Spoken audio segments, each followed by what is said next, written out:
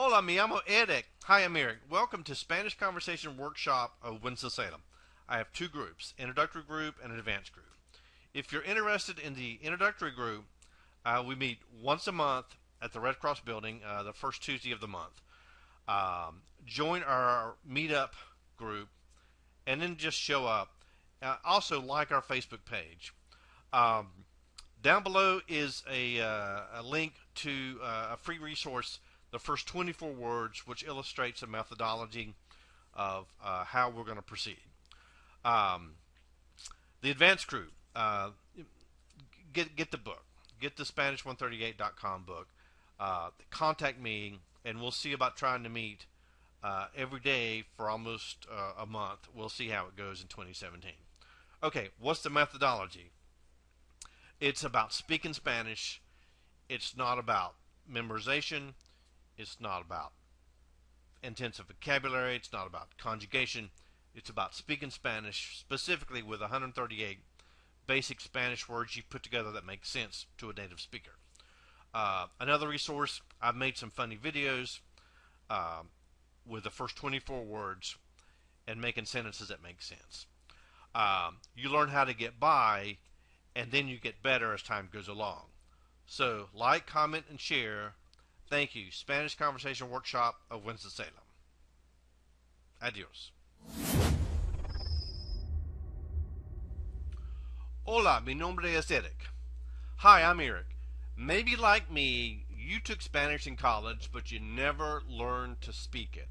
Spanish 138 is 138 Spanish words that you put together to create simple sentences that make sense to a native speaker. It's developed as a course called Synergy Spanish by Marcus Santamaria. You build confidence to speak Spanish. I will give you the first 24 words from Marcus's first four chapters, and you take it from there. Watch the videos and click the link below, Spanish138.com.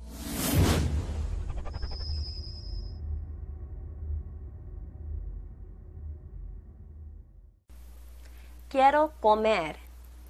Quiero comer.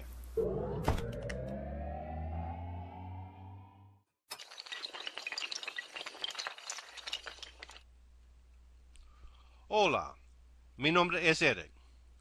A, E, I, O, U. Maybe like me, you studied Spanish in high school and college, but you never really learned to speak it. Spanish 138 is 138 Spanish words that you put together to create simple sentences that make sense to a native speaker. You build confidence to speak Spanish. Watch the videos, like, comment, share. Gracias. Quiero comer. Quiero comer.